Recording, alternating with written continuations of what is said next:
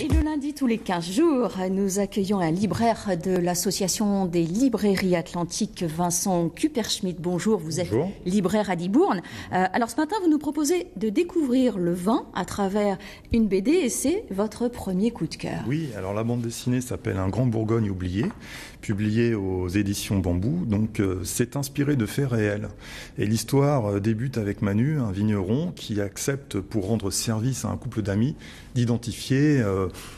un lot de vieilles bouteilles poussiéreuses retrouvées dans la cave.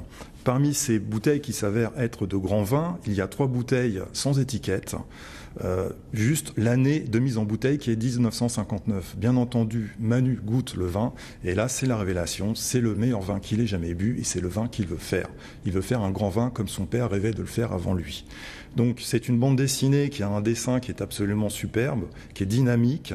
Euh, il y a aussi un scénario dedans qui est truffé de personnages euh, absolument euh, pittoresques, un peu à la Audiard, comme par exemple Jojo, un caviste surnommé le Mystique, ou alors un triumvirat d'anciens qui se font appeler les, les, trois papes. Donc voilà, c'est une bande dessinée qui parle d'amitié, de, de passion surtout, d'amour et de ce lien qui unit euh, enfin, les Français euh, au vin. Voilà, tout donc ça, c'est votre premier coup de cœur. Donc un grand Bourgogne oublié euh, paru aux éditions Grand Angle. Et puis un second, trois minutes pour comprendre 50 notions essentielles sur le vin. Alors ça, Est-ce possible Oui, tout à fait. C'est vraiment un ouvrage formidable.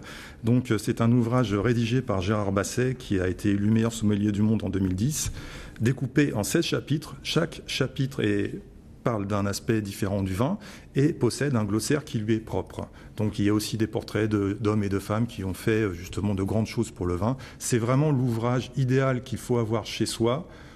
Voilà, c'est rédigé pour chaque notion, en tout cas, en 300 mots maximum et une image. Donc, si vous avez des amis qui viennent dîner à la maison, hein, c'est facilement assimilable en, en 3 minutes. Si vous avez quelque chose à sortir sur le champagne, voilà, c'est gagné, vous passez pour la star de la soirée. Trois minutes pour comprendre 50 notions essentielles sur le vin, donc paru aux éditions Le Courrier du Livre. Merci infiniment et à noter que demain, Aquitaine, Limousin, Poitou-Charentes, matin sera consacré à la viticulture et à l'eno-tourisme. Allez, tout de suite, c'est l'instant web.